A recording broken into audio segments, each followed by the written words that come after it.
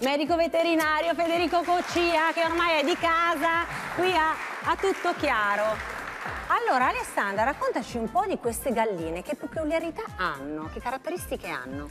Allora, sono galline ornamentali, quindi galline a tutti gli effetti da compagnia. compagnia. Si tengono a casa, è una moda che sta sviluppandosi in questi ultimi tempi, perché sono decorative, sono molto belle dal punto di vista proprio del piumaggio, anche delle dimensioni, perché alcune ad esempio ne vedete delle nane sulla destra, questo, diciamo, queste galline più riposte nell'angolo, e alcune razze sono addirittura giganti. Questa ad esempio è Clarissa, ah, che è una... Sembra quasi un gallo, eh, più che una gallina. Sì, però è proprio la sua caratteristica, sono così belle slanciate e diciamo che arrivano all'altezza di 70 cm, quindi alte quasi quanto questo recinto. È giovane, ha tre mesi ed è già bella, insomma, possente.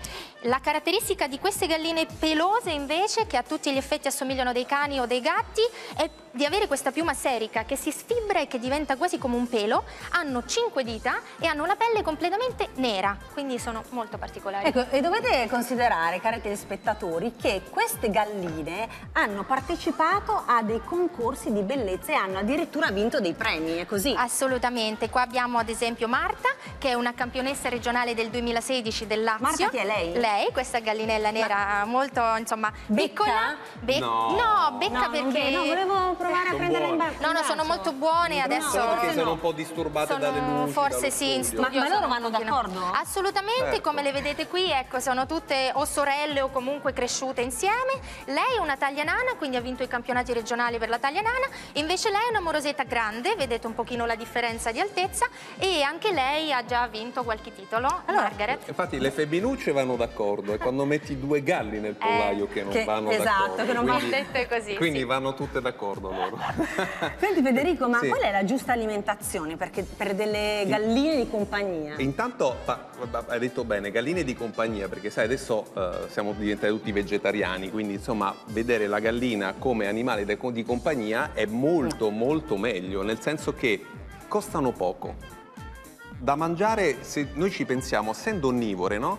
possiamo dar loro tutti i rifiuti organici della casa quindi un pollaio costa poco, non è rumoroso, non è costoso e quindi da loro tutti i rifiuti organici e smaltiamo i rifiuti organici e poi loro riproducono le uova. Esatto, Quindi, ma questa è la cosa capisci, straordinaria. Capisci che, che vantaggio esatto. che avere le galline in casa. Ha una gallina in casa e anche le uova fresche. Assolutamente Ma ogni sì. quanto depositano le uova? Allora, sono sempre una razza ornamentale, quindi depongono un pochino meno uova delle razze normali o vaiole, però arriviamo su un buon 120-150 uova all'anno, le loro uova sono molto più piccole delle uova normali, ecco qua mm, la differenza si, si esatto. vede. Poi a seconda di ciò che mangiano sono gialle o bianche bianche e l'alimentazione di cui parlavamo prima, di cui parlavamo prima è fondamentale. Le granaglie dobbiamo dargliele sempre, però come dicevo prima, essendo onnivore, noi tutto ciò che produciamo glielo possiamo dare. Poi meglio si alimentano e più l'uovo è buono. Eh certo, Le proprietà dell'uovo, ragazzi, io per esempio che sono uno sportivo ho assolutamente bisogno di queste,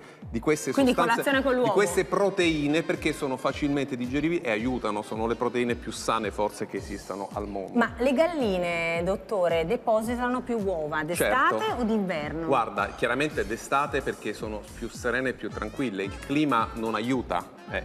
Poi è, è, è chiaro che eh, dando loro da mangiare meglio, come dicevo prima, fanno più uova. Poi devono stare in un ambiente sereno perché l'uovo viene, viene e lei questo mi, mi, mi, darà ragione, la gallina non deve essere stressata per far l'uovo, quindi deve stare in un ambiente eh, calmo, Tutti noi tranquillo. non dovremmo essere stressati esatto. per fare bene le cose, no? Esatto, esatto.